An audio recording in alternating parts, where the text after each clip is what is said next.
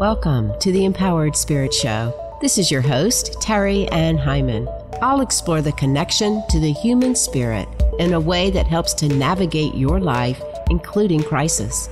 I am passionate about helping you to open up to your intuition and the metaphysical world of spirit to find your confidence in your own inner guidance. Take a pause, be inspired, learn ways to show up focused, centered, and more dynamic in your everyday life. Welcome back to the Empowered Spirit Show. Thank you so much for tuning in and joining me today.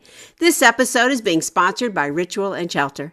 Are you looking for a magical place to shop and hold space? Check out Ritual and Shelter online or in Homewood, Alabama.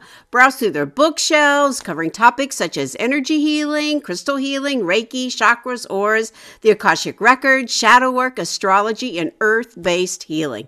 You can also find herbal teas and tinctures alongside their crystals and oils to help establish a mindful mindset and fluid ambience before meditation, ritual work, and reflection. Ritual and Shelter is dedicated to providing one on one, in depth conversations with customers to help them find the most efficient healing methods and resources that match their unique interest and energy. They offer tarot sessions, Reiki, sound bowl, and crystal healing, and now they are offering witch consultations. Visit ritualshelter.com to book an appointment and bring peace back to the body, mind, and spirit. You can also find them on Instagram at Ritual Shelter Shop, as well as Pinterest at Ritual Plus Shelter. As this podcast goes to air, we've moved through Thanksgiving here in the States.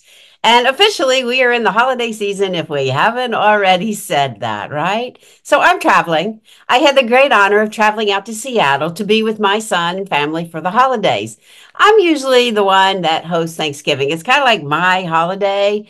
You know, my kids would always come to me, or in earlier days, my kids and I would travel to my family and we would have holidays together.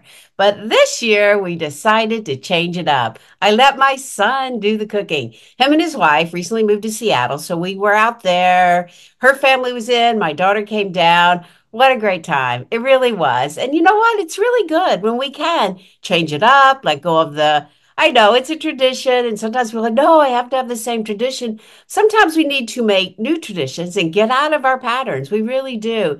And I think, you know, when we travel, when we open up our horizons, we can experience life in a whole different perspective. Kind of what the Sagittarius season is all about travel, expand, open up your horizons. And I know for me, it always lets me reflect on what I have what's going on with me. And it gives me a wider perspective of who I am. You know, sometimes we do. We have to challenge ourselves. We have to open up our horizons. We have to look at life from different perspectives and really understand, reflect. We're in retrograde, perfect word for retrograde energy. Reflect on what's going on and allow the purpose of who you are to come forward, which is what we're going to talk about in the episode today. So, yes, I am in the midst of traveling, but you know, one of the things I had put on my vision board was work from anywhere. So here I am doing this episode today. I want to continue talking about the Akashic realm and all the amazing things that we can learn from it and why I choose to teach it and just not offer it as sessions. Sessions and readings, yes, they're very valuable. And if you haven't ever experienced one, you can come in for a session. And even in those, I do offer to make them interactive. We talk, we experience it. I ask you, how do you feel? What is this noticing for you and your body? Very powerful, very powerful for what we can uncover. And once you kind of have an idea of what the Akashic Records is about, once you have a little bit of intuitive knowledge, intuitive ability, or even just like the willingness to trust, the messages that come in for you. Working in the Akashic Records can have so many powerful benefits for you, which is why I do teach it. And my course is coming up. It begins in January, but I'm registering now and lots of great bonuses you can get if you join now. In fact, I do have a training coming up on December 11th, which is going to be all about the ways in which the Akashic Records can help you go deeper into your soul And we'll also look at five different ways why the Akashic Record is so needed right now, why this radical approach to opening up and awakening is so important all around us, all over the country, all over the world, really. And in this, I'm going to also talk about ways in which you can tell if you're ready to open up to reading your own records. You know, the winter is the perfect time because the soul is deep. We go in. And you also, it's a perfect time to connect with others and feel and see and know other experiences as well, it does put life into perspective. So I will put the link for the training in the show notes, and you'll also receive a guide too on working in the Akashic Records. Come join me. I also have a Reiki Master Retreat coming up in the spring of 2025. I know it seems a long way off, right? But I'm also offering an early bird discount to get you to commit. I believe when you commit early to an event like this, you are committing to yourself, to showing up, to prioritizing your life.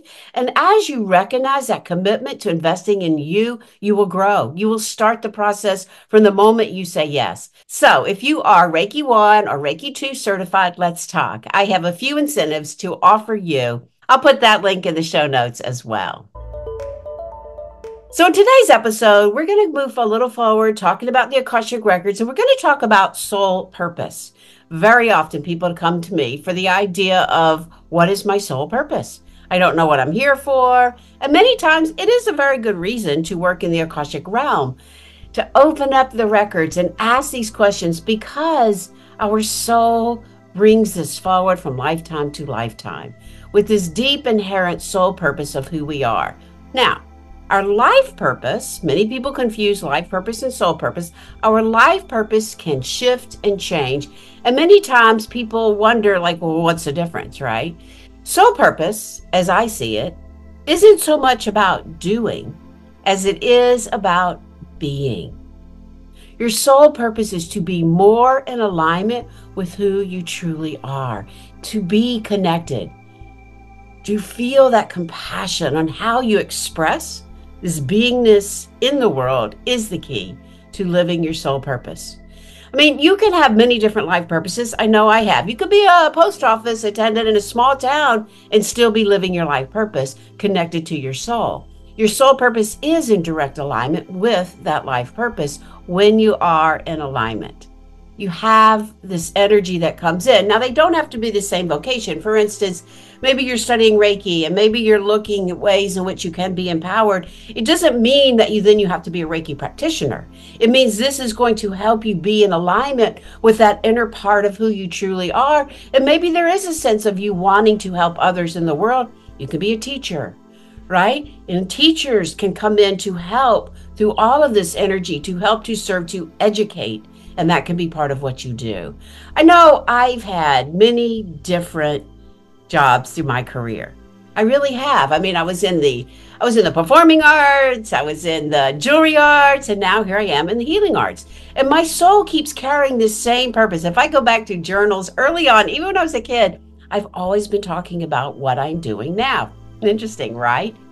So for me, it became the idea of being an artist of the spirit. I am an artist. And I fought it for many years. No, I'm not an artist. I'm going to be a starving artist, right? But I am an artist of the spirit. And I help others connect with that creative part of who they are, their intuition, the creative faculty, and how they can find and live their dreams. So for me, it has woven together into my life purpose. Now, there was a time when I was working in the jewelry industry and I thought, oh, I got to switch. I got to go be a Reiki practitioner. Okay, so maybe I did it a little bit on the side, but my purpose there was also to help others, also to facilitate the ways in which they use their own creative forces in what they were doing. I didn't really recognize it at the time, and it was a lot of soul searching for me. And once I finally recognized, Tara, you're an artist. You're an artist of the spirit everything came full circle. But there were so many ways that I recognized I have opened up to be that artist of the spirit in helping others. So everybody can have different ways to work with their soul purpose, to work with their life purpose. But when we find that connection, it is so gratifying. When you can find that connection to being with your soul and showing up in what you do every day, it is very empowering. Many people become unhappy in their job, but really, it's because they are out of alignment with what they're doing and what their soul desires to do. So often we go down that path doing what we're expected to do. I've got to do this, I've got to run the family business. And yet we're out of alignment with what we truly want to do. So when you start to recognize the things that bring you joy, that make you happy, then you can start to align that soul purpose with your life purpose. And then the worlds begin to mesh. And then you feel this empowerment coming forward. One of the examples I like to use beyond my clients, one of the examples I like to use is, and I've heard Oprah talk about this. Oprah's talked about how her purpose really wasn't about being a talk show host her purpose was really about opening up for wisdom to bring it forward to help people express and recognize, even through adversity, how they can move forward into their life. She was being the change and expressing that in so many ways, which we all recognize, right? She was living her purpose by being a public figure to help people in so many ways. Oprah has this innate ability to be a teacher and a leader. She could have done it in many ways. And so that's what we want to recognize. Your life purpose can change. Your soul purpose continues through lifetime and lifetime over and over, which is why the Akashic Records is such a great place to activate this energy for you. So, yes, we all have the ability to go in to ask these questions. And if you are a little lost, maybe you aren't familiar with what it is that is making you happy, that's why we need a spiritual practice. Our spiritual practice can go in deep because your soul purpose, again, is something you've been doing over lifetime and lifetime. But if we're riddled with all this stress and anxiety and expectations on other people, it is hard to know what we are intending to do in this lifetime. And many times, people can get hung up on, oh, I don't know what it is. I don't know what it is, right? All this stress and angst, but we don't have to make it so hard. The questions we ask in the Akashic realm is what brings you joy? What is that innate ability you have, that natural compassion you show the world? What is that? That's what we want to bring forward. And that's what we want to figure out how you can bridge your life purpose with that underlying soul purpose that you have. Our soul purpose continues on and on and on we start to understand more and more about what it is, what those feelings are that keep surfacing. Maybe we keep stuffing them down because we are caught in work that we don't want to do. But many times, like I was talking about in the jewelry industry, I thought I had to switch to what I was doing. But when I recognized I am helping, I am serving right here, right now, I also had two children to support it allowed me to be patient with my life and to let it unfold in its natural way. And one of the things we also can do in the Akashic realm is look to the future. And so sometimes what I start to see with people and we start to uncover is how these two start to blend. It's like a little point that comes together.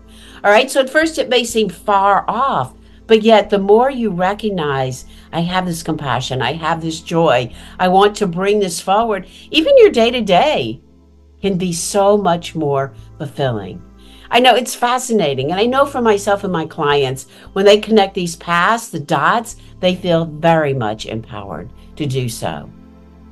So let's take a moment to pause and center and go into our Akashic records and connect with our guardians. Let's call them in. Let's see if you can notice what you notice. And let's just ask your guardian to show you what brings you joy and happiness in your own life. So let's begin. So, wherever you are, if you can, close your eyes. Taking a nice deep inhale and exhale, calling in the sacred elements, calling in the fire to access this energy, your soul going deep, calling in the element of air to clear the mind, clear the space calling in the element of water to open the heart to move the emotions, calling in the element of earth to ground, to center. Inhale, take another deep breath up the body. And as you exhale, call all your energy into you, call it in. Inhale, opening up the breath all the way up the body. And as you exhale, begin to align, calling in the spiritual body to align right on top of the physical, the emotional, the mental bodies. Centering, grounding. Inhale, expanding the breath up the body, opening up beyond the crown. Exhale, calling in absolute light, streams of grace all around.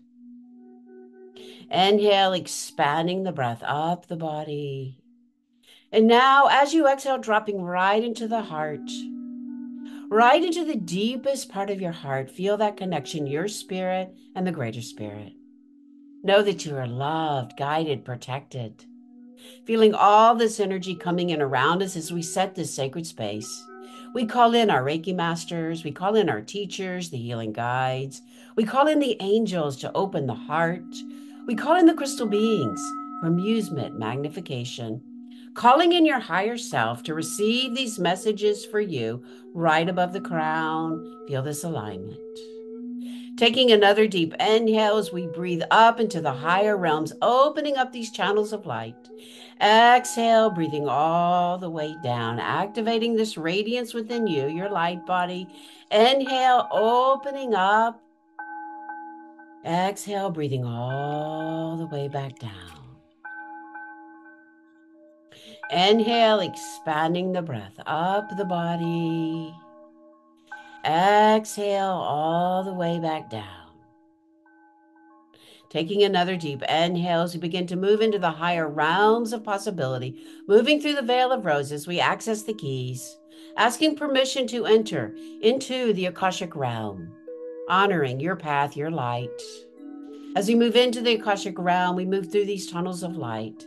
Imagine, pretend, visualize yourself surrounded in this galaxy of light. As you move into this hall of energy, notice, notice this realm for you. Notice the records, the books, the lights. Feel yourself in this hallway of energy. As we begin, we call in our guardians, calling in, allowing the guardians to come forward. Notice how does your guardian show up for you? Ask. You can even ask, Are you my guardian? Receive the message. As I see it, the guardians come holding big books big books of your knowledge, your path, your light. And so as we go to ask, the question becomes what is it that brings my soul the joy, the happiness easily? Ask that for you.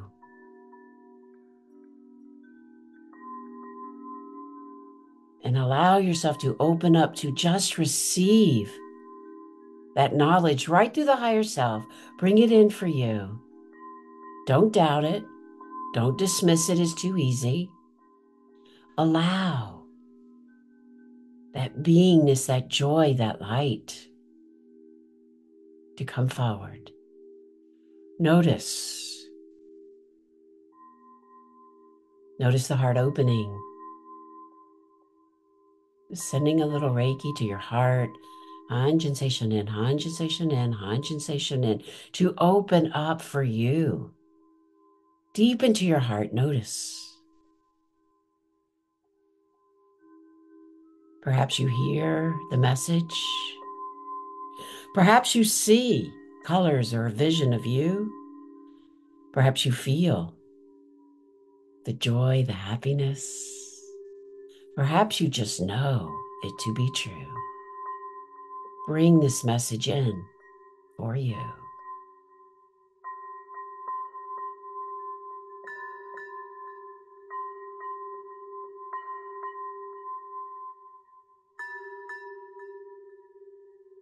Can ask your guardian, confirm, is this so? This is what I feel. Ask.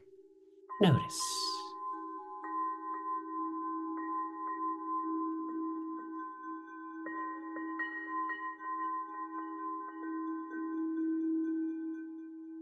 Allow these messages to come in. Trust. your soul, your light.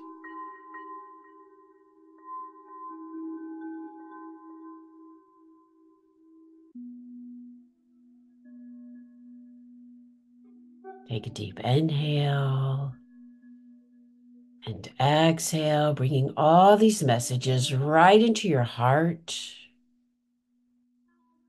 We ask for this vibration of light, of information to be with you, to continue to receive these messages. Sealing in this vibration, Cho Ku Rei, Shokare, Cho Ku Rei. Taking another deep inhale, breathing up. And as you exhale, we start to bring all this energy back in. We start to move back down through these tunnels, noticing the messages that have come forward, coming all the way back through the veil of roses, coming back into your present day. Feel yourself grounding, receiving these messages and as we go to separate out our energies, imagine a crystal ball with your name in red and just imagine reaching up and releasing all this energy, anything else that needs to come into your consciousness, bring it in through the crown, all the way down, deep into the body. As we go to separate out. Inhale, offering gratitude for our guardians, offering gratitude for these messages that have come forward for you. One more deep inhale. And exhale all the way down deep into the earth. And as you're ready, blinking the eyes back open, coming back.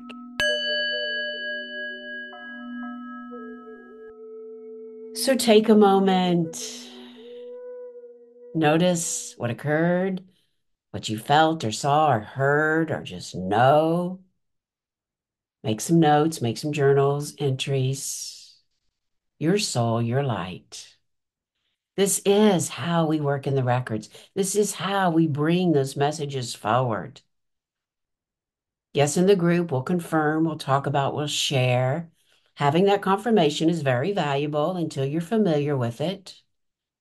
But this is one of the ways in which working in the Akashic Records can help you. There are so many, so many ways. It has been invaluable in my life to understand past life, the energies of my ancestors, how they combine. We'll talk about that as well. So for now, notice what you notice. I do have a Black Friday bonus, only two spots I'm offering. Check it out. Maybe they're already gone, but check it out half price. And I have other Black Friday bonuses as well. So as you move through this holiday season, be sure to take time for you. I do have a How to Survive as an Empath for the holiday season, one of my Black Friday bonuses, a really great one as well. Self care is so important right now. We can get overwhelmed. We can get with all the busyness, busyness, business, and forget about our soul's journey. Don't forget about it. Show up each and every day with your soul. Very important. Lots going on. I've got a Reiki circle coming up at the Yoga Lab December 14th, and I'll be offering a winter solstice at Clubhouse on Highland on December 21st. The solstice, lots of fun, color, light, crystals. Don Cassisi will be doing some yoga with us. We'll have a fire circle, cacao, and we have other guests contributing as well. Be sure to check it out on my website or my Instagram for the most up to date information. Happy holidays. Thank you so much for joining me today. This is your host, Terri Ann Heiman. To your spirit, namaste.